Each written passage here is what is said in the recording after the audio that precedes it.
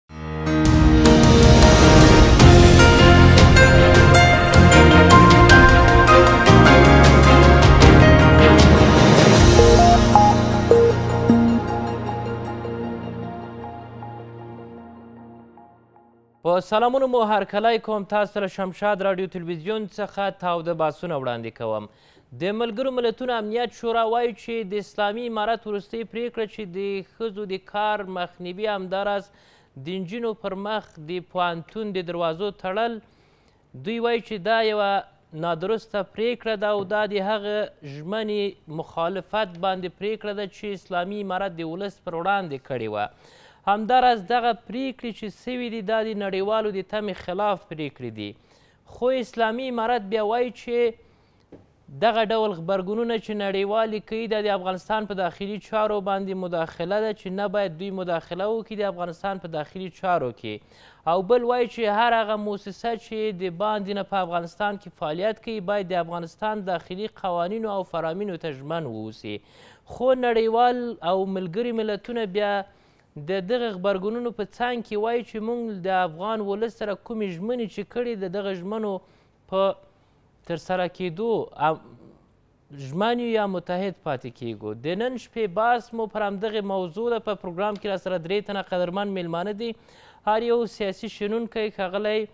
سید ذاکرالله هاشمي بل میلمه را سره له لندن څخه سیاسي او نظامي کارپوه ښاغلی اسماعیل غرنی او سیاسي شنونکی له امریکې څخه ښاغلی سمسور ساپی تاسو ښه راغلاست وایم په خیر راغلاست پروګرام ته غرنی صاحب تاسو د دې غبرګون په اړه څه وایاست د لوی خدای په نامه علیزی صاحب افغانستان همدا اوس ملل متحد څه چې حتی د دغه ډېر نزدې يارو په اصطلاح ياور پاکستان په رسميت نه ده پېژندلی. ملګرو ملتونو څه چې حتی اسلامي نړۍ چې تقريباً څلور پنځوس هېوادونه دي هغوی هم کلک غبرګون وښوده چې دا تصميم، دا پرېکړې نه اسلامي دي، نه شرعي دي حتی د د نړۍ په کچه یو ستر علمي بنسټ چې الاحزر دی د هغه مشر احمد الطیب دا هم ده هم وویل چې دا پریکړه نه شرعي دی د دې نه را په دې خوا چې د ترکیې وزیر د خارجي ویل چې دا نه تنها شرعي نه دی بلکې انساني نه دی تاسو اوس وګوري په دغسې یو پوزیشن کې اخوا ته د ملګرو ملتونو لکه چې ټول هیوادونه ورته اړتیا لري ګورېږي علیزی صاحب ملګرو ملتونه په مختلفو برخو کې او د خلکو په مختلفو کټګوریو کې د هغلو جملې نه میرمنو سره کار کوي ولې طالبان میرمنو سره د ښکاره تعصب لمخې په لوی لاس دغه مشکلات زیږي او دغه فرمانونه صادري دغه پریکړو کوم فرصتونه ضایع کړل؟ ټول نړیوال سازمانونه وایي چې منګه دغه پریکړې که چیرې بیرته وانخلي منګه خپل ټول مرستې او راشه درشه په ټپه درو. ګورئ دا دلته اوس دلایل دي چې که چیرې دغه مسایل په اصطلاح همداسې پاتې شي کېدای شي ملل متحد خو ځان ته منشور لري پروګرام لري هغوی خو دغه د درېیمې نړۍ هیوادونو سره په هر شکل چې اوسي ما مخکې تاسو ته ویلې د تعلیم په برخه کې د خوراک په برخه کې دوی مرستې کوي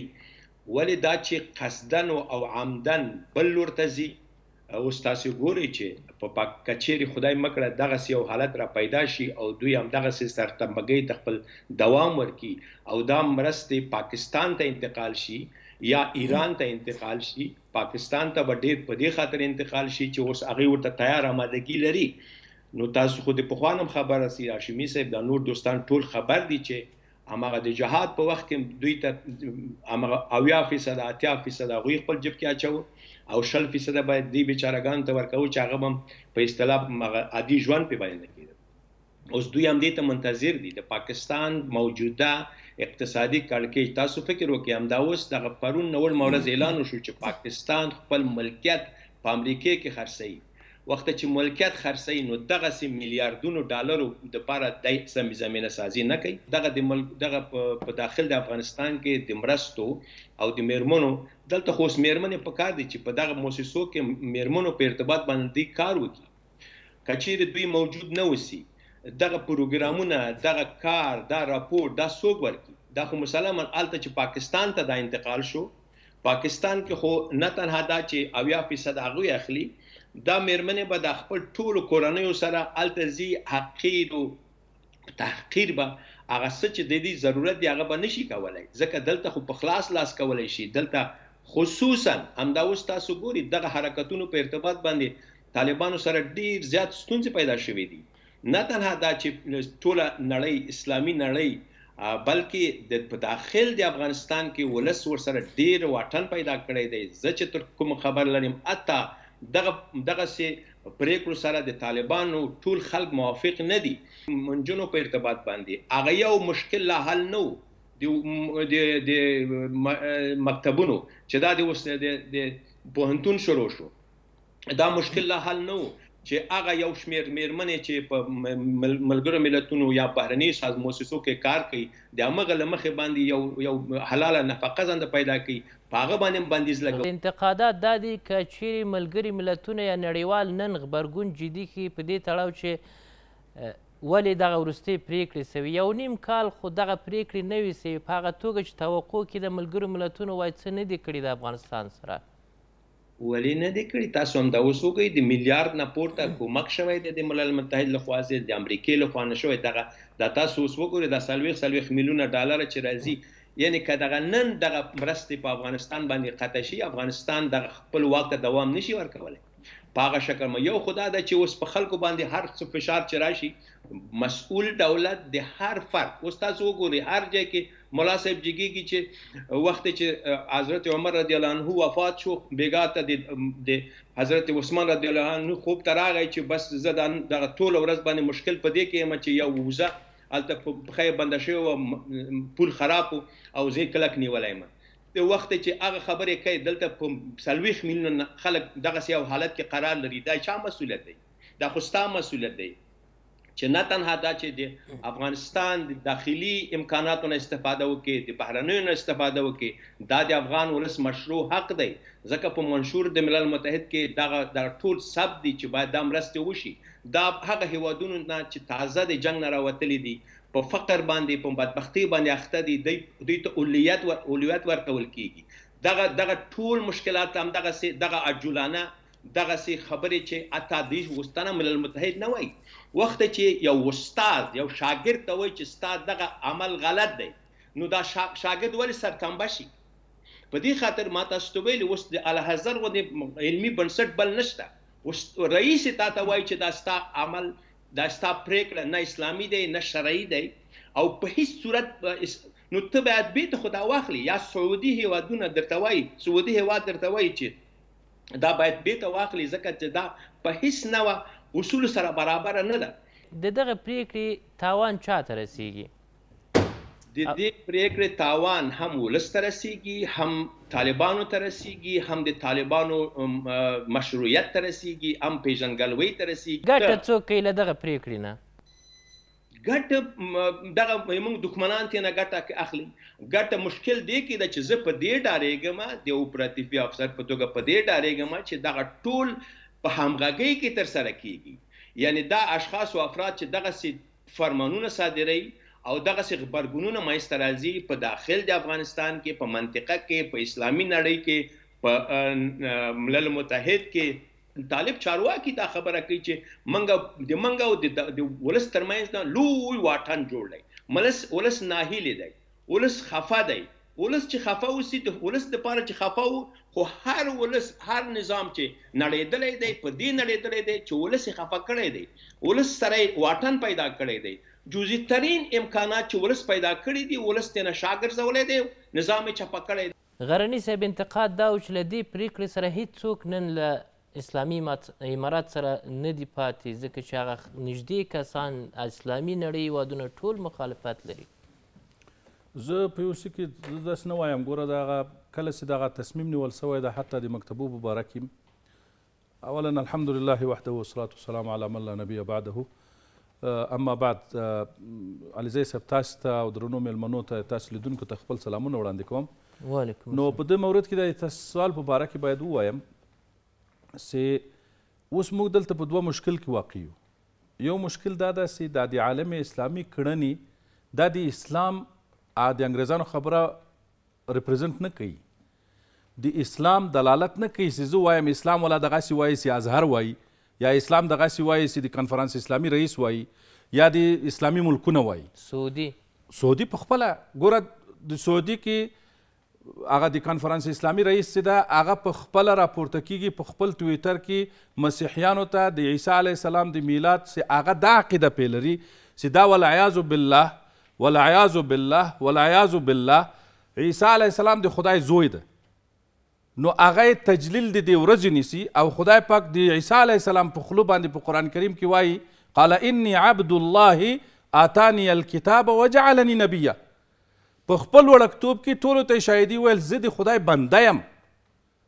نو کله چې هغه د دغه هغه کوي یعنی تجلیل کوي او د هغه لپاره یو بل ته مبارکي وایي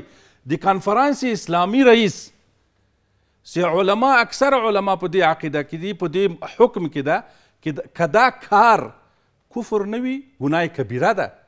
سی ته یو کس ته په داسی عظیم خبره سی هغه شرک ده او د خدای پاک سره خدای پاک په قران شریف کی څه وایی قل هو الله احد الله الصمد لم یلد ولم یولد ولم یکن له کفوا احد دا د موږ عقیده ده کله چې ته د کریسمس عید مبارکي غته وایې ورته وایې چې مبارک دي سه معنا یې دا ده چې په دې شي کې حد عقل که بل څه نه وي په دې باندې خو اقرار کوې چې دا خبره دغسې ده او حال دا ده چې موږ دا مسلمانان دا حق لرو بلکې په موږ باندې مسؤلیت ده چې نور عالم ته دا بیان کو چې دا شرکیات نسته خدای پاک یو دا شریک نه لري خدای پاک په قرآن شریف کې موږ ته څه وایي کنتم خیر امت اخرج للناس تامرون بالمعروف وتنهون عن المنکر نو تاسو بهترین دی امت په دې خاطر یاست چې امر بالمعروف کوي او نهي عن منکر کوي نن د کانفرنس اسلامي رئیس راپورته کیږي داسې یو کار کوي چې سړی ورته حیران شي ښادي تا ته څه ضرورت ته چې دا کار کوي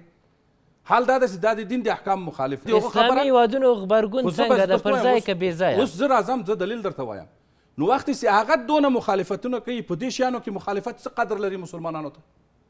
چی دونه غټ حکم دی اسلام دی پښی په باندی ږدی دی خلګو دی مسلمانانو په سترګو باندی خاوری اچوی او دی دونه غټ اقدام کوی په صف صفات باندی په دغه صفات دی د کانفرنس اسلامی رئیس ته هیڅ کله رئیس نسی کیدلی یو دی ازهر شیخ په دغه رقم سره هغه دی ازهر کینونه دی ازهر حیثیت هیڅ کله دی رئیس نه ده په دی خاطر نه ده سی رئیس حکومت ټاکی اما ازهر علما دې دا بل څوک راوکړي چې په دې مورد کې څه ووایي زه بل څه درته وایم اوس زه راځم شرعي خبره غرنۍ صاحب محترمه دلته د شرعي په بڼه کې باید غیدا د علما وي علما څوک وي هغه ربانین علما چې د غرب او شرق خبرو ته نه ګوري هغه د خدای پاک حکم درته بیانوي حواله هم درکوي څه دغه یې قرآن، دا یې حدیث، دا یې د سابقه علماء احکام. اوس ګوره موږ په دې کې هېڅ شک نشته، د تعلیم په باره کې حتی امارت اسلامي نه دي ویلي چې ناروا ده. وایي تعلیم فرض ده، دا به کوي، لکن په وسایلو کې موږ مشکل لرو. ګوره زه مثال درته وایم، یو سوال کوم، ایا داسې کېدلی شي چې یو سړی جومات جوړ کړي او د هغه دپاره یې لاره نیولې، خلکو چشکونه کوي چې زه جومات جوړوم، دا روا ده؟ په عین وخت کې چې کله زه فرض ادا کوم یو سړی نسی کولای چې د فرض ادا کولو لپاره بر فرض وشکوي یا بل فرض خدای نه خواسته بل بل عمل داسې ګناه ورسره وکړي زه مثال درته وایم چې وخت صحیح ده تعلیم فرض ده اختلاط حرام مطلق ده په اسلام کې دا ثابته خبره ده دا دلیل پکې څوک نسی ویلی دا هغه علما نه د ازهر عالم نه د کنفرانس اسلامي رئیس نه د نورو علما داسې ویلی چې سینا اختلاط روا ده دا یو دومن بې حجابي په هیڅ صورت سره روانه ده چې بې حجابي وکړي نو چې کله دلیل هغه درته وایي چې دلته بعضې خلک وو چې د دغه شي مثال د خبرې پایبندي نه کوله بار بار هم دوی ته ویلي وو که مکتوبونه ور لېږولي وي چې تاسې حجاب مراعات کړئ اختلاط مه کوئ د علم حاصل کړئ خو د دین او شریعت په چوکاټ کې. هغه چا چې حجاب نه مراعتوه هلته به یې نه وو پرې ایښی اما ټول نه باید په دغه برخه کې. غوږ ونیسه اوس خبره په دې چې که د دلته دوه دوه اپشنه لرو که چېرې اوس امارت اسلامي راپورته شوی وای دغه مثال د خبرې وزارت وزارتونه راپور سوي وزارت تحصیلات عالی وزارت داخله امنیت مثال دغه هیئت ټاکل کړی وای هغه کسان چې حجاب نه مراعتوي هغه مثال د خبرې په زور منې کړی وای بیا به دلته سره صدا و چې دلته په زور دا وهي و څنګه کوي حتی ما په ټویټر کې ولیدل چې په کوم جي کې خود نه پیږم ښځې دي دروازه وهي نو هغه یو هغه راو راوځي یو یو سپاهي ورته وایي عسکر ورته وایي ګارد ورته وایي طالب ورته وایي هغه په هغه باندې وږي په کمربند باندې نو یو غټه سره صدا ورته جوړه سوې وه نو اوس دوه اپشنه وو یو اپشن دا و چې په ښه منظمه توګه باندې اوس ظاهره بېله غوم د افغانستان زمه ده بې له غم رخصتي ده بس دا اوس د توقف پیدا کوي تر هغه چې دی احکار اشی ورته برابر کړي دا د دوی وعده ده موږ به ورته وګورو د حمل په وخت کې چې موږ تعلیمي کال شروع کیږي آیا دا کار سرته رسیږي که نه رسیږي بیا به له هغه وروسته خبرې کوو. په ښځې باندې وار کول له اسلام نګاه نه څنګه ده؟ ګوره کومه ښځه له هغه ښځه چې خپله پرده وساتي، خپل حجاب وساتي، له پردي سړو سره له سړو څخه وشرمېږي، نو هغه ښځه چې ته راسې، ګوره په اسلام کې زه درته وایم، کله چې صحابه ولاړل جنګ ته، رومیان په دې باندې خبر شول چې دا صحابه هغه ته نه ګوري، ښځو ته نه ګوري، نو لوڅې ښځې په آسو باندې سپرې کړې، نو په هغه وخت کې یې له پوښتنه وکړه چې موږ څنګه وکړو، وایي ویې وځئ، داسې ښځه چې خدای نه خواسته هغه له سړو سره لاس اچوي، له سړو سره او د سړو په ضد باندې خبرې کوي، بدې بدې خبرې کوي، نو څه به ورسره کوې؟ په یوه اسلامي ملک کې همدغسې یو څه نشته چې نجونې دې نه وي مکتب. ګوره هغه مې درته خلاص کړل. خدای پاک په قرآن شریف کې قاعده ایښې ده، لا یضرکم من ضل اذ اهتدیتم، دا آیت د قرآن شریف ده، وایې هېڅکله تاته ضرر نه رسوي چې دا ټول خلک ګمراه وي او ته د خدای پاک په لار روان یې. دا دلیل به داسې وایه چې کله چا په حق باندې عمل وکړل هغه ښه سړی ده، چې کله چا د حق پایمال کو نو هغه بد سړی ده، دا معنی نه لري چې د هغه هر کړنې صحیح دي. ایا دلته اشرف غني چې موجود و له دې کفارو سره دلته راغلی و د افغانستان خلکو باندې بمبار کول دا موږ صحیح بلل؟ موږ هیڅکله، زه به یو څه ووایم، له اقتصادي نګاه یونما هیڅکله نشي کولای افغانستان پریږدي. زه به دلیل درته ووایم. دليل يې داسې ده چې يونما چې دا کوم تنظيم دې جوړ کړی د افغانستان ميشن په نامه باندې چې يونما اداره يې جوړه کړې ده دا يونما په اروپا او امريکا کې په زرهاو خلک مامورين لري فی الحال ډالري تنخواوې لري دا خلک په په رفت و آمد باندې د دې څونه مصرف کیږي په نورو د دې په اصطلاح په یوټیلیټیز باندې څونه مصرف کیږي دا هیڅ کله نسی دا میشن ختمولای دا څه کوي اوس دهر کال په سر باندي وساتي غوغا شروع کوي چي هله په افغانستان کي خلک له لوږي مړ سول هله چي افغانستان د د هغه لاندي سو بيا سل مليون ډالر له سعودي واخلي سل مليون ډالر له جاپانه واخلي بيا سل مليون ډالر له نور دولتو يو اعشاريه دوه مليارده ډالر راټول کړي اتيا فيصده دي په خپلو مصارفو باندي لګوي کنه دا غرنۍ صاحب ته وایم دا نور ته وایم تاسو مراجعه وکړئ چې د دې اتیا فیصد بجټ په څه شي لګي له خود نیویارک شروع تر دا خود افغانستان پورې دې تنخواوې ورکوي مصارف ورکوي ته پوهېږې یو طیاره چارټر کې دی له یو ملکه راسي دلته سهار راسي د شپې بېرته ولاړ سي دا اوس نه ده دا حتی د د د جمهوریت په وخت کې هم دغسې کول نو د ما مقصد دا ده چې هغه په هیڅ صورت سره نسی کولای د افغانستان مشن وایم دغه شل فیصده به بیا پاکستان ته ځي نه ځي ګوره پاکستان د جهاد په وخت کې د جهاد داسې کوربه و چې ټول احزاب ورې وو دفترونه یې وو جیونه یې وو هغه خلک امکاناتو یو دوما د افغانستان د اداري یا سیاسي یا عسکري جسد دونه اختراق موملی و چې د ټولو دولتو استخبارات پکې لاس درلود نن ورځ که په پاکستان کې د خپل میشن وکړي هم افغانستان ته نسي راتلای سي افغانستان اجازه ورنکي نن ورځ هغه تللی ده چې څوک د افغانستان په په حریم باندې کدا سیاسي وي کدا امنیتي وي کدا اقتصادي وي هیڅ کله ولاکه ولاکه تجاوز وکړي کنه دا نن غله په دې وطن کې چې ګرځي هر یو په خپل مخ خوري کنه اوس به تا لیدل چې که چیرې داسې وای نو اوس به د افغانستان ټول ټول شیان به ختم خو الحمدلله ټول اداره شوي دي لهذا په دا اوسنۍ فاکټورو کې په دا اوسنۍ حالت کې د دغه حکومت په موجودیت کې د دوی په عظمیت کې هیڅ کله نه تنها پاکستان هیڅ دولت هم د افغانستان بدیل نشي کېدلی دومن د میرمنو خبره اوس رالو د میرمنو خبره چې موږ کوو ګوره موږ په دې کې شک نشته چې سپېڅلی هدف سپېڅلی لارې غواړي صحیح ده دا قاعده ده یعنی الغایت لا تبرر الوسیله دا دا د عربو مقوله ده غایت دي تا د تا وسیله نه تبریروي یعنی مثال درته وایم لکه ما چې مخکې درته ویل چې ته اوس جومات جوړوې او ته وایې زه غلا کوم ولا زه خو د خدای پاک دپاره جومات جوړوم نو هېڅکله د تا د غلا د دې هغه د تا جومات جوړونه د دې غلا د پاره تصفیه نسی کیدلای اوس ګوره په دې خارجی مؤسساتو کې څونه کار کیږي په دې خارجی مؤسساتو کې په سلهاو په زرهاو وال ورته ویل سوي دي چې تاسو دلته اختلاط منی کوي مثال دا نجونو ته یا دا ښځې تاسو سره کار کوي ځان ته دفاتورو کې د کار کوي له ښځو سړو سره به اختلاط نه لري حجاب به مراعتوي ده په بار بار د افغانستان خلکو شکایت کړی، د دغو مېرمنو خپلوانو شکایت کړی چې هلته ولاړې شي، هلته نه یې دا اختلاط تر اوسه منې کړی، حتی په عین وخت کې حجاب له سره ایسته کړي. درنو لدونکو دمه لرو.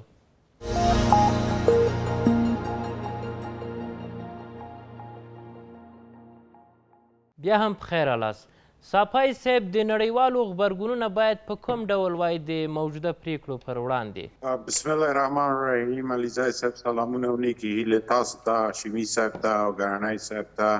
او ټول افغانستان ملت ته او افغانان چه هر نقطه د دنیا کی دی وعلیکم السلام ګوری دا بحث څو خواې لری اول خو زه باید دا ووایم کاش کې دغه ملل متحد یا د اووه پنځوس مسلماني ممالکو هغه وخت کې کوم غبرګون ښودلی وای چې اسلامي ممالک یو نه پس بمباردېدل میلیونه مسلمانان شهیدان شول کورونه هغه شول ووتل په سوریه کې په عراق کې په افغانستان کې په فلسطین کې په کشمیر کې داسې دا لست که واخلو اوږدیږي کاشکې دغي دغه غږونه هغه وخت ښودلي وای خو نه دی همیشه د ظالم خوا یې نیولې وه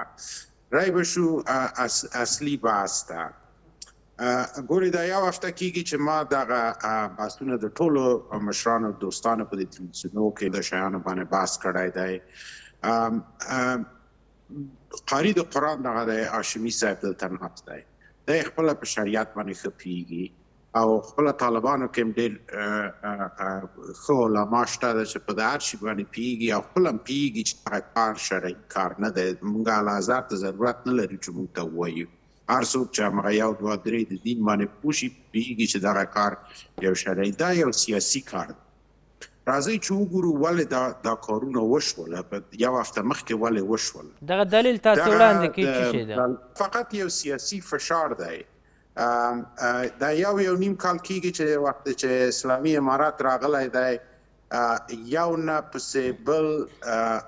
غربي دنیا او چې ملل متحد د دې صرف یو اوزار دی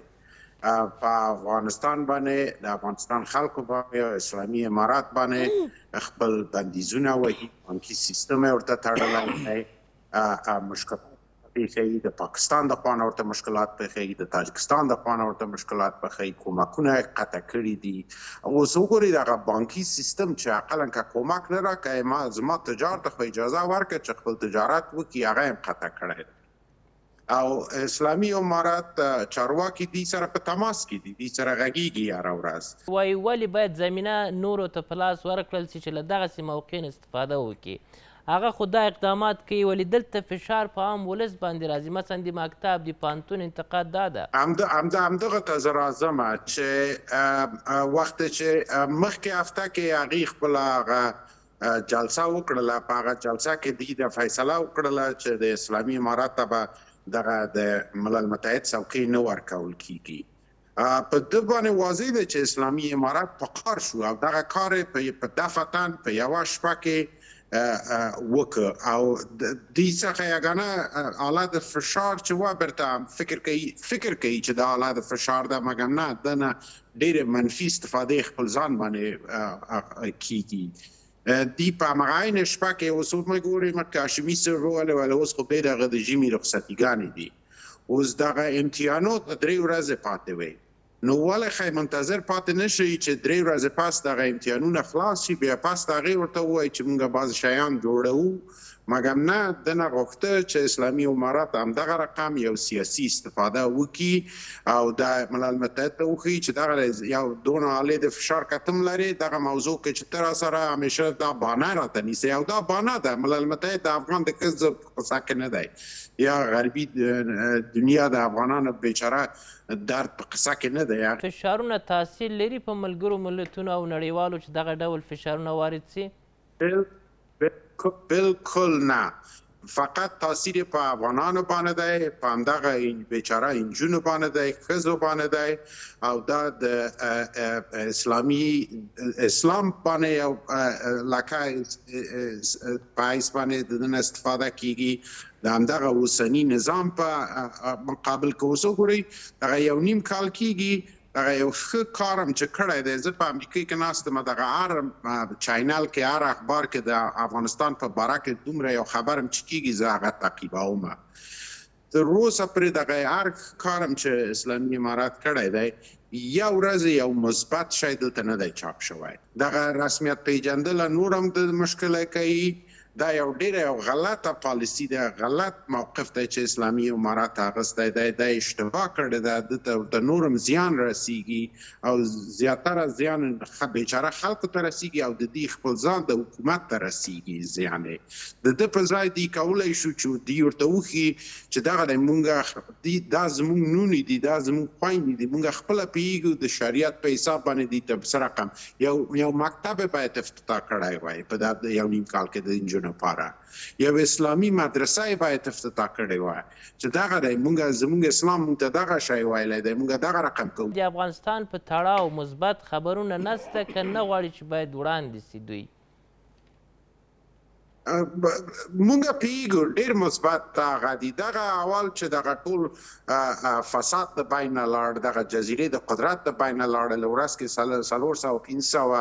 بیچاره خلک زمونږ شهیدان کیدل دغه ټول مثبت شیان دی بیا دغه کابل کی چی دا ښاروال د کابل مونږ ګورو چی څه ښه کارونه کوي ښار بیخی ښایسته شوی دی زما خپل دوستان چی راغلی دی کابل کی راته قصی کوي دغه تلیفونو کی کمری راته چالانوي وګوره دغه دی خپل په سترګو وګوره دا ټول مثبت شیان دی یو دولت چی خارجی کومک نلری خپل د جب نه خپل د هغه نه دغه کارونه کوي دا خو ټول مثبت شیان دي مګم ګوري دی فقط منفي نقطه دغه رانیولې و دا یو نیم کال کې چې شپږم صنف پر انجونې نزي مکتب ته او چې رښتیا ډیره لوی یو منفي نقطه ده بیا مونږ امیدوار وو چې عمل میاشت کې دا مکتبونه خلاصيږي بیا وګوري او دا تړاو لري د اسلامي امارات دا چارواکی چی امریکی سره او ملالمتحد سره غږیږی دای په حیث د یو هغه ساتلی دی چی مونږ مکتب نه پریږدو څو چی تاسی همغسی مونږ په رسمیت وپیژنی مونږ سره هغه وکړی بیا پس د هغی مونږ دماغ حلالوو مګم و نه شو نه هیڅ اصلا مثبت شی ما امریکایی میډیا کی نه دی لیدلی هغه سهیل شاهین صاحب یو دفعه یو پیرس مورګن په نامه یو انګلیسي هغه دی هغه مصاحبه چې څوک وګوري د چا زړه درد کوي اول خو د هغه انګلیسي ونه ښه نه ده نه پوهېږي چې امریکا خارجي میډیا سره څه رقم خبرې وکړي هغه بیخي داسې یو رقم هغه کوي چې ولا وګورئ دغه رقم خلک دي دي دا ټول سوالونه یې په ښځو باندې وو. فقط وایي چې نور افغانستان کې بل کوم شی نشته دی، دا د ښځو هغه دی. د ملګرو ملتونو د غبرګون اغېز به څه وي په افغانستان باندې؟ ګورئ، اغېز یې دغه شی دی چې د امارت اسلامي مشرتابه ښه پوهېږي چې څه شی دی. د هر شی چی یا دی پخوا دی سره امریکی سره یا ناټو سره منلی وه او یا هغی ورنه اوس غواړی چی دی هیڅ وخت ملت سره دغه شریک کړی نه دی او دا یو بل شی دی چی یو دولت اسلامی دولت خصوصا باید یو شفافیت ولری زمونږ وزیر الوزرا تر اوسه پری یو دفعه نه دی راغلی د تلویزیون کې چې ملت ته ووایي چې دغه غربي دنیا مانه دغه شی غواړي ملل متحد خو صرف د امریکې یو یو اوزار دی چې هغه نه استفاده کوي یو ښه هغه دی موږ ضرورت لرو چې د هغې څوکۍ واخلو چې نیاګانه ځای دی افغانستان خپل غږ پکې ویستلی شي رسمي ټوګې باندې مګم هغه ملل متحد همغه شی چې ورته امریکا او انګلیس او فرانسه ووایي همغه کار کوي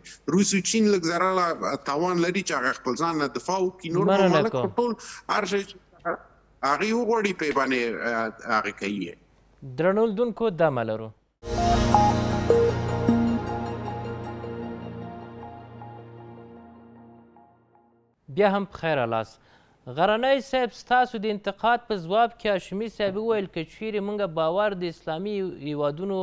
یا په اسلامي نړۍ کې باندې کوو خو بیا دا هم ویلی شو چې همغه کسان چې تاسو مشخص کړل مثلا د اسلامي هیوادونو سازمان مشر هغه هغه خبرې کوي چې هغه نه ښې دي مسلمان سره یا مثلا د الازهر پوهنتون مشر د حکومت له خوا ټاکل کېږي، هغه د دې مدرسې نمایندګي نه شي کولای. دغه ټوله نړۍ وايي چې ګورئ، څلور پنځوس یا اووه پنځوس هېوادونه یا دغسې ستر بنسټونه، هر څوک یې چې تعینوي، د کوڅې او د بازار نه لکه ما غوندې سړی نه راوړي، وزیر یې نه مقرروي او د کوڅې او د بازار نه یو سړی دغسې ستر بنسټ کې رئیس نه مقرروي، هغه ستر شیخ دی، نه تنها دا، اسلامي کنفرانس د اسلامي نړۍ حکیمانو دا فیصله کړې دی نو داسې معنا داسې لري دا خو دا خو داسې ده چې د دنیا خي چې دا خو په قران او حدیث تنا تاسو پوهیږئ دراله چې مشکلات تاسو لري او داسې خو نه ده چې دا ټوله نړۍ یو خوا ته بل خوا دا ذهنیت خرابوي دا ګوره ملل متحد سره وران دنیا سره وران اسلامي هیوادونو سره وران کانفرنسونو سره وران او بیا تور په پورې کچ ولا هغه سړی ته مبارکي ورکړي دا خو معامله ده دا خو دا خو نړیوال دا سیستم دی دا څنګه دا تاسو سره هاشمي صاحب هیڅ څوک نه مني چې دا ولی مبارکي ورکړي مبارکي سړی هر چاته ورکړي دا خو په دې معنی نه ده چې یو مبارکي باندې بس خلاص دا جوړ شو یو ځلې بس ځواب د هاشمي صاحب او رومي رباني مشخص زه دونه وایم ګوره زه غرنی صاحب محترمه دونه پوښتنه له تا چې کوم آیا استاد سیاف شیخ نه و پروفیسر نه و همدا اوس هم شیخ دی همدا اوس هم شیخ دی همدا اوس هم ځواب مو واورئ د پامه دواړه ستاوی ډیر لوړه محترم بیرته ځواب ته راځم محترم زه فقط یو یو ټکی ته اشاره کوم استاد ربانی دغه چې نور دلته ملایان اوس دلته له امریکا سره برای راست ودرېدو د افغانانو په ضد باندې په دې افغانستان کې څونه شهیدان وسول د امریکا له لاسه آیا دا استاد سیاف یا استاد رباني یا دا نور څه ورسره لاس درلود د دغه جواب لري آیا زه په استاد سیاف پسې ولاړ سم یا زه په استاد رباني پسې ولاړ سم په دې خاطر زه ډېر غټ شیخ ده له ما چې امتحان اخلي تر ما یې ښه زده ده په دې کې شک نشته یي به تر ما به پوه یې خو د خدای پاک لاره به پرې ایښي نو له هغه سره به څه کوې ته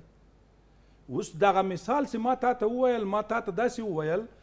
چې ټول عالم اسلامي بما فيهم کانفرنس اسلامي هیڅ کله د اسلام قواعدو ته د اسلام اصولو ته هیڅ وخت پایبند نه و پاتې شوی په دغه خاطر باندې غرب خپل ټولې خبرې پې منلې دي تر دې اندازې پورې چې ګوره په دی ما خو رسمي بڼه باندې ما نه دلدلی خو پاکستان دا دی همجنسګرایي قانون پاس کړی آیا دا په اسلام کې روا ده د وزیر خارجه د بلجیم وزیر داخله د جرمنی راځی د همجنسګرایی د پاره په قطر کسی دا خلاف د قانون د قطر ده هلته ورته کمپاین کوي ایا دا دا دا د دی د دی د دی واک ته که د هغه دولت واک ته نو خبره په دی چې کې دا ما دونه دغه نقطه وویل غرنۍ صاحب محترمه چې حق په خلکو نه پیژندل کیږي اوس مثال درته وایم نبی صلی الله علیه وسلم په شعاب ابي طالب کې درې کاله بندیز و پۀ باندې محاصره و تر دې اندازې پورې چې ده مبارک په خپل نس باندې ډبرې تړلې واښۀ یې خوړل اخر ته یې خپل تره ته وویل ګوره قسم یې ورته واخیست چې که چیرې ته دا ټوله دنیا په ما په لاس کې راته کیږدې او راته ووایې چې دا کار پریږده زه به پرې نږدم درته. ولې له دې جهته چې حق ده، د خدای پاک رسالت ده، دغه میراث دا د مسلمانانو علماوو ته پاته شوی ده، په دې کې شک نشته چې په ټول عالم اسلامي کې په نور عالم اسلامي کې هیڅ علما رول نه درلود تر اوسه هیڅ اختیار یې نه درلود، سیاستمداران څه اختیار لري؟ نن ورځ پاکستان یا نور اسلامي دولتونه چې څونه د غرګ پوروړي دي، که چیرې دوی اسلامي قانون د سود په باره کې تطبیق کړی وای، ایا نن ورځ د دوی اقتصاد به په دا حالت کې و؟ بیرته راځو تاسو ته غرنی صاحب مهرباني. اوس دوی وايي چې دا د دا تنها د اعلیحضرت د رئیس نه د شورا خبره ده اوس همدا خبره وايي چې په اسلام کې اصل شورا ده دغه عاجلانه پریکړه چې دغه وزیر صاحب په منډه منډه لاړ قندهار ته او هغه نه شفاهي امر یې واخیسته نو دا تا ولې دغه په افغانستان کې د طالب نه علاوه دغه نور علماو یو شورا جوړه نه کړه او دغه شورا پرې باندې تصمیم ونه نیو. هاشمي صاحب وایي چې عربو کې بیا خلک روسي راغلې جګړې کولې بیا امر وشو چې مړه یې کړه. ښه هغه خبره څنګه دلته راوړې؟ دلته یوه ښځه وایي چې زه تعلیم ماته خدای د ما حق کړی دی، کار زما حق دی، ته هغه چی د خپل حق په غوښتنه کوي ته په هغه باندې څنګه امر کوي ته هغه باندې څنګه وهي او بیا زه وایم چې دا دا هم ښه کار ده ځکه چې عربو بیا داسې کار کړی و چې لوڅ خلک راغلي وو ګوري دا څنګه موږ اتباع ورکوو ګورې اوس رسنۍ په ټول نړۍ حکومت کوي خپل خپل علم یو څه زیات رسنۍ ته ارامه وروره یو دقیقه خیر ده مهرباني غرنی صاحب مهرباني په ټولې نړۍ حکومت کوي همدا اوس د ټول بدلونونه په رسنۍ راځي تاسو همدا اوس علاوه دې نه همدا اوس په رسنیو باندې تا بندیزونه بند لګولي دي دا خو داسې نه کیږي حکومتونه چې کیږي کیدای شي چې یو سړی هر چا سره راشه درشه وکړي هر چا ته مبارکي ورکړي په یو مبارکي باندې څوک کافر کیږي نه او بل داره شو چې اوس به تور د مثال چې تا اسلامي نړۍ نه مني الحضر دې نه مني اسلامي بنسټونه دې نه مني خو د تا اعتبار پرستیژ په ولس کې له منځه لاړ او بل بل خوا دغسې پریکړې کوي چې یو پریکړې جواب هم نشي ورکړي تاسو فکر وکړئ دغه مظلوم بیچاره وزیر د تحصیلات عالي چې عیناً لکه د دوه زره کالو، درې زره، لس زره کالو مخکې یو مظلوم غوندې راغی، یو څلور خبرې یې وکړې چې ټولو خلکو ورته ویل چې دا هېڅ نه وه، نه عقلي دلیل و، نه منطقي دلیل و، هېڅ دلیل یې نه درلود. صافی صاحب وايي چې فشار، دا څنګه کېدای شي چې ته غواړې چې په خپل ولس باندې، په خپلو مېرمنو باندې فشار راوړې او غواړې چې تا څوک په رسمیت وپېژني؟ دا خو هېڅ نوع علمي او منطقي ارزښت نه لري، منطق نه لري دا. ته څنګه کولی شې؟ ته خو همدا اوس د دې ولس معنوي پلار یې، هم د سړیو پلار یې، هم د مېرمنو پلار یې، هم د نجونو پلار یې. ته څه رقم پلار یې چې دغسې فرمانونه صادروې چې د مکتب نه یې محروموې، د کار نه یې محروموې، د روزګار نه یې محروموې، ولې درې ورځې امتحانونو ته پاتې دي؟ دوه ورځې د مخه دې ټول بېچاره ګانې د کورونه راووېستلې، په پنځلس دقیقو کې دې د د ټول کال امتحان یې تېنه واخیست، ده ده باندې تا کومه ورځ چورت وهلی دی چې دا دنیا ده ته په کومو سترګو ګوري؟ خو همدغه یې مثالوي خلک، افغانستان یې افغان ولس یې مثال کوي، دغسې چې نن خلک رباني نه مني، مسعود نه مني، دا تا هم نه مني. فرق چی شی ده؟ اوس تا ډیر توند الفاظ په دې کې استعمال کړل مناسب نه ده دا الفاظ سړی استعمال کړي خو زه ځونه درته وایم چې په دې تیرو شلو کلو کې دغه علما د ازهر د نورو جیو علما د نورو دولتو علما دا فیصله یې حتی د حرم شریف تر امامه پورې دا خبره کړې وله چې په افغانستان کې جهاد نسته که چیری د افغانستان خلک دغه خلکو ته غوږ نیولی وای بیا به د امارت اسلامی تایید نه کول بیا به خپل زمن نه ورلیږل بیا به دلته شهیدان نه ول دلته بیا زخمیان نه ول دلته به نوی زره کسان بیا نه ویل بندیان خو دا ټول پوهیدل چی هغه خلک په حق باندی خبره نه کوی دایمن د مظلوم د ظالم طرف نیسی دایمن دا دین فتوا فقط دغسی جوړوی چی د امریکا په خوښه یی او د اروپا په خوښه یی حتی تر دی اندازی پوری سی دغه دا اوس سی وګوری دا ټولو مناهج یا نصابونه دی عالم اسلامی کی امریکا لاس وانه کیی سی دی جهاد آیات جنی حذف کی چا پکی اعتراض وکول دا کانفرانس اسلامی اعتراض پی وکول نو دی ما مقصد ټول دا ده سی که چیری یو عالم نیک عمل لری مسلمانان پسی ځی ولی هغه خبره یی دی خپلو خبرو موافق یی اما که داسي او ته دي موږ د دي د افغانستان د ملت په مابين کي د مجاهدينو، د علماوو او د هغه تير غلامانو په مابين کي فرق نه وينې نو دا خو ولا بيخي غير مناسب خبره ده سړی شرح کوي. مننه کوم هاشمي صاحب درنو لدونکو دمه لرو.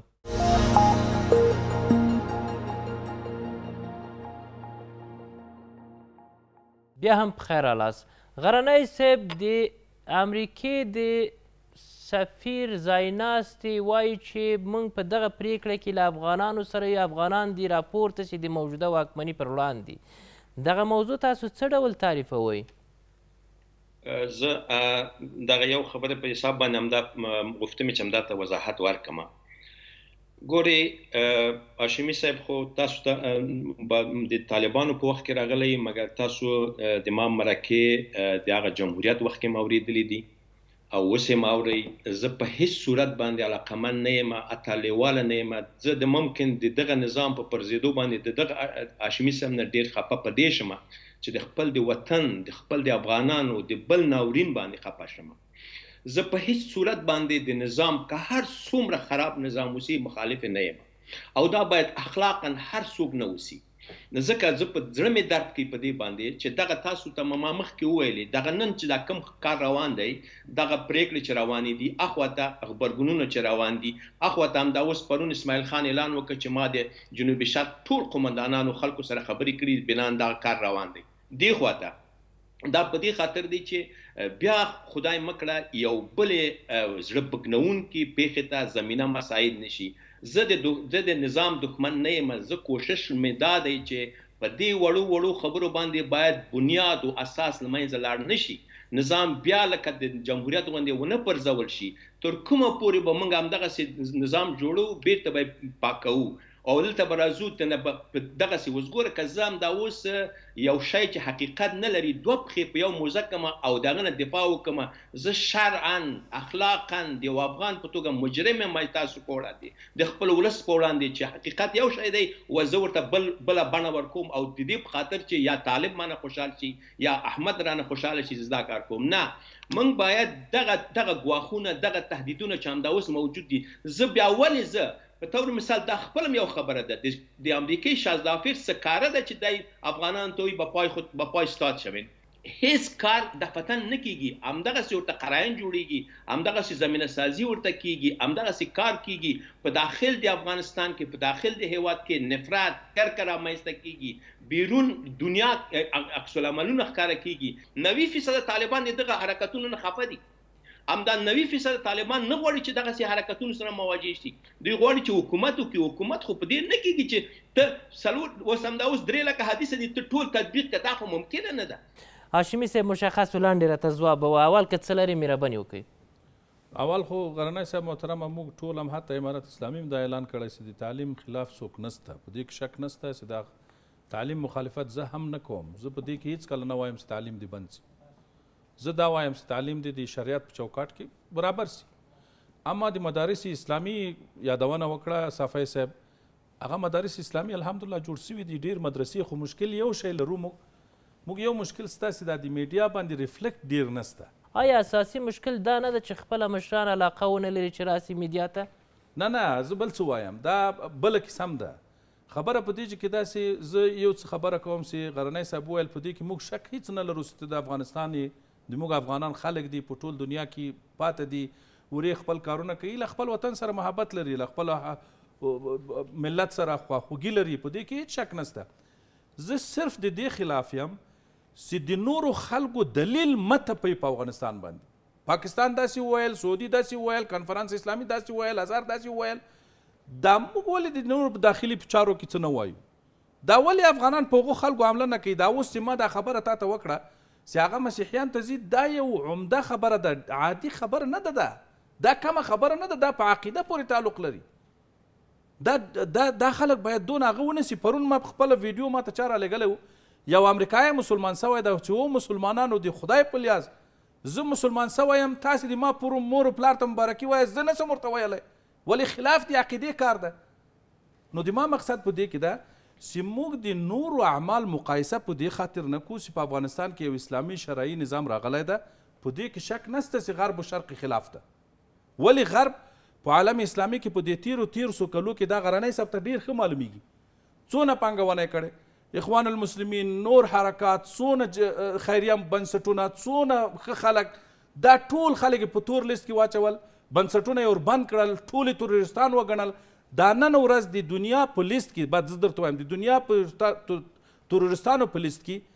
دوه میلیونه او دوه لکه کسان دي، ته پوهېږې نولس میلیونه نولس میلیونه تقریبا نولس نیم میلیونه پکې مسلمانان دي. ته په خپله له ځان سره سوچ وکوه چې په دنیا کې اووه میلیارده خلک اوسیږي، په اووه میلیارده کې یو نیم میلیارد مسلمانان دي، له دوی څخه نولس نیم میلیارد هغه یي یعنی تقریبا نولس نیم تقریبا نولس نیم لکه یعنی یو میلیون یو اعشاریه نه نیم میلیونه خلک مسلمانان په تور لیست دنیا کې دي. چې دا تروریستان دي یا تروریستان تاییدوي یا تروریستان سره دي. تر امنیت شورا وایي چې دا د تمې خلاف اقدام و چې اسلامي امارت کړی. ګوره په دې کې شک نشته لکه صافی صاحب چې وویل دغه ملل متحد دا د امریکا او د اروپا یو ابزار ده نور هیڅ شی هم نشته په هغو کې که چیرې دا منځګړي وای که چیرې دوی ویل چې موږ د ټولو دولتو یو یو کور یو باید په اوله ورځ امارت اسلامي ته خپل چوکۍ تسلیم کړی وای، له هغه وروسته یې د افغانستان له خلکو سره، د افغانستان له حکومت سره خپل اړیکې ټینګ کړی وای. اوس هلته یې چوکۍ نه ورتسلیموي، په رسمیت یې نه پېژني، دلته عیناً د یوه حکومت غوښتنې ځینې کوي، هلته یې پیسې بې بندې کړې دي، هلته یې بانکي سیستم ورته هغه کړی چې نه ته خپل تجارت وکولای شې، نه دې تا پیسې درکوم، نه زه درسره لاس درکوم، په اخر کې بیا غوښتنې داسې غوښتنې کوي چې ته حکومت یې، باید دا د تا مسوولیت ده، که ته خو ما پرېږده چې زه خپل مسولیت ادا کړم. وايي موسساتو ته چې نجونې نه پرېږدي د زده کړې زمینه دا وايي لوی اقتصادي تاوان کوي اسلامي امارت. چې کله یو خور یوه ښځه ته په کار باندې لګوې نو دا به په کار شي د خپل جیب خپل مصرف لپاره به یو شی پیدا کړي خو یوه کورنۍ ته بې کاره کوې ولې یو سړی که چېرې په کار باندې ولګېږي نو هغه به ستا کورنۍ هغه کوي سپورټوي یا مثال د خبرې هغه هغه هغه ورته ګټي یا رزق ورته ګټي صحیح ده خو یو خورس چیرې په کار باندې لګیږي د دغه ټول اقتصادي بڼي ټولې نورې خواوې سي وڅیړل سي نو خبره په دې کې ده سي په صورت عموم سره په دا رقم سره حکم کول په دا رقم سره خلک په یو شي باندې بد ګڼل اوس په دنیا کې په ټوله دنیا کې یو معامله کیږي مثال فرانسه مسلمانې ښځې له پوړونې سره نه پریږدي ولې دا دنیا نه پې باندې لګیږي خبرې نه پې باندې کوي په هندوستان کې تاسو په خپل لیکدلې دي د موږ موږ هندستاني مسلمانې خوندي د مکتب تر مخې پړونه لسره ایسته کیږي وهل کیږي ټکول کیږي دلته د ښځو حقوق چیرې ده نو اوس خبره په دې چې کده زه صرف دونه غواړم له غنیه صاحب څخه زه دې په محبت باندې هم راضي یم زه دې منم چې د افغانستان مثلا خواخوږي خلکو څخه یې د ملت یې خو صرف دا نور خلک دلیل په دې مه ګرځوه چې هغه خلکو خپل امتحان ورکړی، هغه په دې تیرو شلو کلو کې له ظالم سره، له امریکا سره، له اروپا سره ولاړ ول، هغه ته یې فتواوې ورکولې، د هغه کار یې ښه ګڼل، هر کار یې ورسره کول. ساپی صیب لنډ و مشخص ځوابوچ وخت پای ته رسیږي د. ملګرو ملتونو او نړیوالو څخه غوښتنه باید څه وي په دې برخه کې او اسلامي امارت باید په دغه یو نیم کال کې څه کړي وای؟ ګوري ملګري ملتونه که رښتیا بې طرفانه یو جهاني سازمان په حیث باندې یو کار کوي باید همدا اوس خو فعلا باید دغه دغه افغانستان څوکۍ دغه امارت اسلامی ته ورکی دا چې ورسره موافق دی نه دی ښه کار کوي بد کار کوي اوس په دغه ټول افغانستان جغرافیه باندې دی حاکم دی او د دا د دی حق دی چې دغه څوکۍ باید ورته ورکول شي او هلته هر مشکلات لري د د پالیسۍ سره د هغه سره هلته کولی شي ورسره وغږیږي او دی غږیږی مګم دغی دغه رسمیت نه غواړی هیڅ وخت دی ته ورکی او امارت اسلامی هم ډیر بعضی کارونه کوي چه ډیر په غلطه لاره باندې روان دی اول خو دغه کار چه کړی دی دا مکتبونه یې چه تړلی دی دا فکر کوي که زه هم د یو فشار په حیث باندې دا استفاده کولی شم ملل متحد په مقابل کې نه هغه نور هم تا ته بانه جوړوي چې دغه دی دغه پاره زه تا نه پېژنم او ته نور هم همغه کار کوې داسې یو رقم چې فقط ورته یو چال واچوه او ته خپله شه په هغه جال کې ځان ورته واچوه دا دا کار ښه نه دی. دا خبره چې کوې چې د افغانانو د ژمنې په خلاف دغه اقدام سوی هغه ژمنه چې اسلامي امارت له ولس سره کړې وه چه شي وه؟ هغه خو واضح دی خپله اسلامي امارت هم فکر کوم چې همدغه هاشمي صاحب خپل په زړه کې پوهیږي چې دا د افغانانو د ژمنې په خلاف یو کار دی هغه یې چې په خوله که وهي که نه وهي هغه جدا خبره ده دغه هر څوک پوهیږي همدا اوس خپله د ملل متحد په دا راپور کې خپل لیکلی دی ویلي ول چې زیاتره د هغه وزارت خانو مونږ سره تماس نیولی دی او مونږ یې ویلي چې مونږ خلاف د دغه هست دا څه معنا لري چې خپل امارات کې زیاتر خلک د غرنۍ صاحب چې مخکې وویل 90 فیصد زه به شاید ووایم نه 90 فیصد د دغه کار په خلاف دي مګر تاسو به دغه کار وکړئ ګوري د ملل متحد امریکا که تاسو نه کم نامشروع خاص لري تاسو باید دغه هر شی پټ ونه ساتئ په تاریخ کې د افغانستان همدغسې وختونه پرې راغلي دي. لوی ترین مثال به یې زه ورکړم، دوم جهاني جنګ نه پس وخت چې جرمني ماته وخوړله، ټول تسلیم شول، همدغه هغه وخت کې ملل متحد لا صحیح جوړ نه وو، امریکا او انګلیس افغانستان ته یې وویل چې راکه جرمنان چې هلته دي موږ ته یې راکه. افغانستان دا توان نه درلود چې د هغوی نه دفاع وکړي، مګم لاړ خپل ملت ته همدغه په. پکتیا کې په نورو ولایاتو کې جرګه وشوله د هغو نه مشوره واغستله چې موږ څه شی وکړو هغه ورته سمه مشوره ورکړله که غرب سره ومني ونه مني ته خو اقلا خپل ملت ته راغلی ته خپل خلکو سره غږېدلی د خلکو زړه خو به خپل کې ته خو دی خو داسې یو کار کړی دی چې هم نه مشکل حل شوی دی ملل متحد سره او همغه خلک زه خپله شخصاً د امارت اسلامي زه دعا ورته کوم چې دی کامیابه شي چې د دوی په کامیابي کې د افغانستان کامیابي ده اوس فکر وکړئ افغانستان که یو یو شیشهیي یا ګیلي کاسې غوندې ده او چې په ډېره اسانه باندې ماتیږي دغه کاسه د امارت اسلامي په لاس کې ده خدا نخواسته که دوی ناکامه کیږي که دوی باندې کوم فساد راځي کوم دسیسه ورته جوړیږي دغه ټول څلوېښت میلیونه خلک چې دغه افغانستان کې دي ټول زیان ویني. مننه کوم هاشمي صیب، څپی صیب او غرنی صیب درنولدونکو تاوده بحثونه پر همدې ځای پای ته رسیږي، څه چې مو واورید د میلمنو نظر و، خوشحاله اوسئ.